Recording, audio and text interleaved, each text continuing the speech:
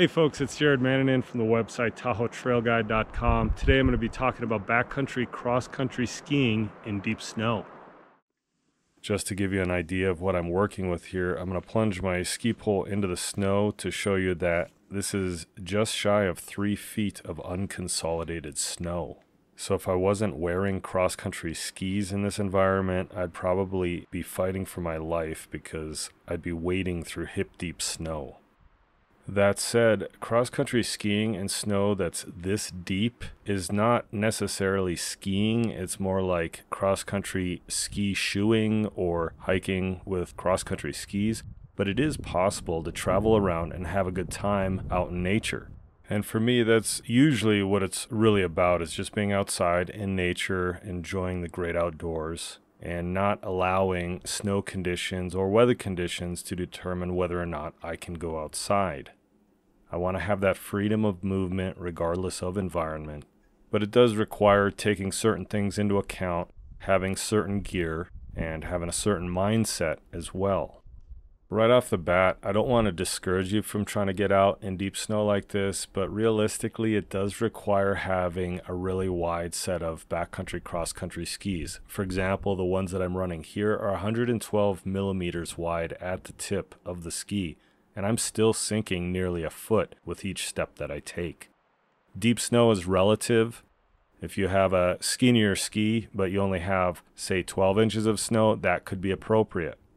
But if you're going to go out in something excessively deep like this, where it's nearly three feet in areas, I would say get something really wide. I'm not trying to sell you anything. I'm just trying to be realistic about it. Because anything less than that 112 in this deepest snow is going to be really challenging to run and move forward with. So wide skis with appropriate bindings, whether that's NNNBC or a three pin and then a full basket backcountry ski pole. That's about the only specialized gear that you're going to need other than that, everything else is going to be standard fare for going out into the backcountry on cross country skis. What I find more important than gear is our mindset as well as learning more precise movement so that every step we take is a step forward. Because the thing about traveling in deep snow, regardless of mode of travel, whether you're on snowshoes or cross country skis, is that it can be very exhausting. As you watch this video, I'm sure you'll note that there are some similar themes to my other videos about backcountry cross-country skiing, but that's just the nature of cross-country skiing. There's always going to be overlap. Skills are transferable from one environment to the next. Just because we go into this one scenario doesn't mean that we have to throw everything else out that we previously knew about a different scenario or situation or environment. Let's take what we know and apply it to this new place or this new terrain or this new snow condition. And this is something that we should always be doing when we're cross country skiing is learning how to adapt our technique to this new environment. Plan to cross country ski for a much shorter distance when faced with this much snow. As I mentioned a couple of times, it's very exhausting, and if for some reason I lose a ski or I break a ski, walking out is going to be not impossible, but it is going to be a very precarious and dangerous situation. You may actually need to call for help if that's the case. Consider doing an out and back where you can retrace your steps or your tracks because it is a little bit faster to go back over your own trail. That said, if you're with more than one person, you can take turns breaking trail, which gives the second or third or fourth person a rest from the grudging work of breaking your own trail. If you decide that you want to go out for a loop trail, so not a out and back, but a point to point or just making some sort of circuitous route to end up where you first started, but not retracing any of your steps. That's going to be exhausting the whole way, but a little bit more rewarding because you get to see new terrain. At the same time, it can be easier to get lost if you're unfamiliar with the terrain in which you're covering. You may want to consider sticking to a flatter route because it is less tiring than going uphill. At the same time, in deep snow like this, it is fun to practice downhill technique, although you have to find a steep enough angle of terrain in order to get enough movement to initiate turns. And then when that occurs, you may find yourself in avalanche terrain. Now, when I do practice downhill technique in this type of terrain and in these types of snow conditions, the hills that I usually practice on are so small that I can barely get in five or six turns. So, realistically, not very steep and not very long, so I don't have to worry about those avalanches.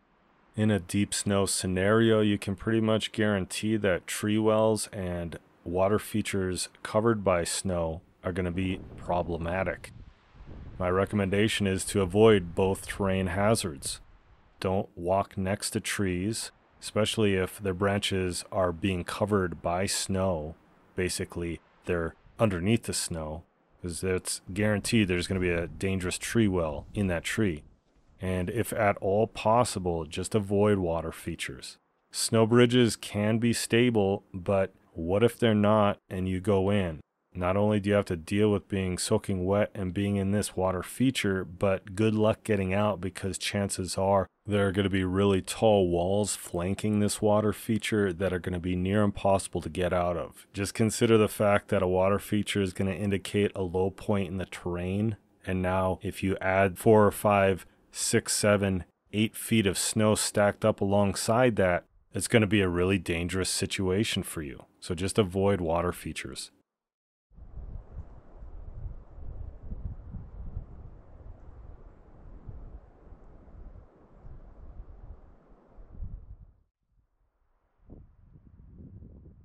Traveling uphill is often the most challenging aspect of backcountry cross country skiing in deep snow. It's just hard to clear your skis out of the snow so that you can actually move forward. You're going to want to become very familiar with performing the herringbone technique as well as sidestep, and ultimately being able to perform a combination of those so that you can navigate uphill without stumbling around too much. Now, keep in mind while watching this next brief demonstration of me doing the herringbone technique uphill without using any ski poles, like literally holding them above my head, that I don't do this normally. I'm doing it just to illustrate the fact that it is possible to go uphill doing the herringbone in deep snow without a whole lot of fuss. And what I mean by that is that each step that I take is a step forward. You don't see me tripping or stumbling or sliding back, although that does happen to all of us, no matter how skilled we are. On occasion, we cross our skis, trip ourselves up, slide back. But in this example, I'm just trying to demonstrate that perpetual forward motion that we all want to embrace and experience when we're on cross country skis. The trick to accomplishing this consistently is to go back to those core elements of diagonal striding, which are push off, weight transfer, and glide. The only real difference in doing the herringbone in deep snow uphill or just walking forward compared to firm and consolidated snow or groomed snow, for example, is that we're not really getting the glide phase, but we're still trying to push off and then transfer all of our weight from one ski to the next when traveling uphill in deep snow, you definitely have to be far more precise and deliberate about your foot movement. And that's how I was able to go uphill without using poles doing the herringbone. I actually paused long enough on one ski at a time in order to transfer all my weight to the next ski so that I can clear each ski. Granted, you just saw me stumble around in this little example, but that's to be expected at some point. We all want ideal technique all the time, but it's just not a reality. But knowing how to adapt to when things come undone is just as critical as knowing how to do them in the first place. So you didn't see me stumble around for too long before I just decided I'm going to stop doing the herringbone and I'm going to transition into a side hill traverse doing more of a side step along an angle. And this all goes back to push off and weight transfer. Weight transfer is key. Balancing on one ski at a time. Go back and watch me do all those kick turns, and you'll see that I'm balanced on one ski at a time as I kick the other ski around. I'm not using my poles necessarily to keep me upright.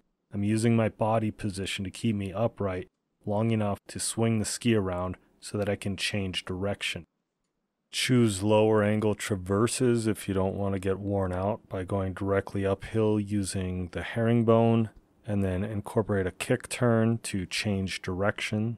I like to slide my ski forward slightly with each step that I take so that I'm moving forward all the time, but I'm also in the back of my mind clearing the back of my skis. For doing a herringbone uphill in deep snow, you do have to take a wider stance. Otherwise, you will just end up stepping on top of each ski. And one last thought about going uphill in deep snow is that it does require some athleticism. It is a workout, so just plan accordingly, meaning you may want to choose terrain that has fewer hills.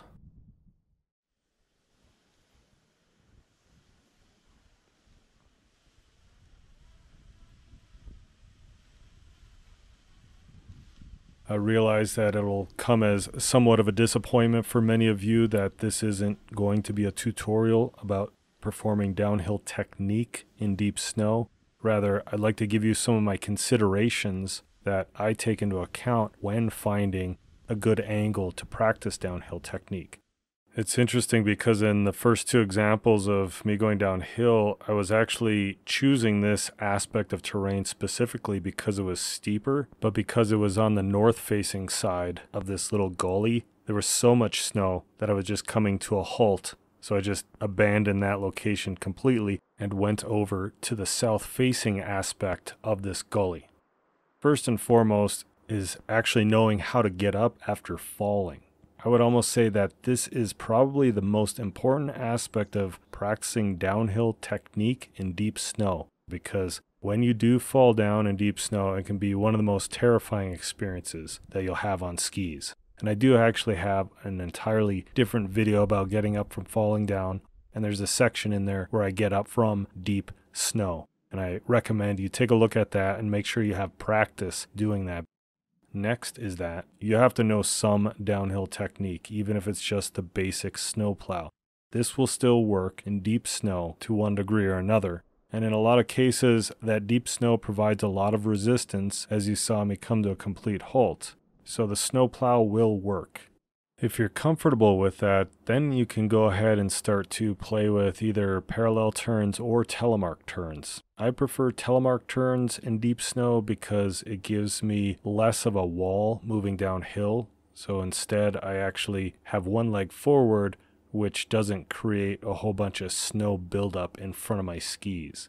I also don't come from an alpine background, the telemark stance ultimately for me feels more like traditional cross country skiing with one leg forward, one leg back. The deeper snow may be harder to get down the hill. You may have to double pole in some situations, but it's very forgiving if you don't get the right angle of your skis. So you can still practice with some safety features built in there. You don't have to worry about catching an edge, for example. But what goes down must come back up, so you do have to pace yourself. What I'll usually do is I'll save an aspect of the hillside to practice the downhill turns, and then I'll just create myself a little trail where I pack down the snow and make my way up the hill. I'll usually repeat this a number of times until I tracked out the hillside and no longer want to keep climbing uphill. Downhilling in the backcountry is super fun, but you have to do it responsibly especially when you're faced with deep snow conditions, because deep snow yields more avalanches, which is why I recommend just finding a small hill on which you can practice downhill turning. Those big mountains and long downhill runs are like the siren's call, but no matter how wide your cross country skis are, they're still technically really light touring gear and not designed for steep descents. Unless you have specific avalanche training you probably shouldn't be in avalanche terrain. So take the opportunity to go for shorter sessions in deep snow to become a better skier so that when the snowpack stabilizes, you can more safely and enjoyably access more terrain.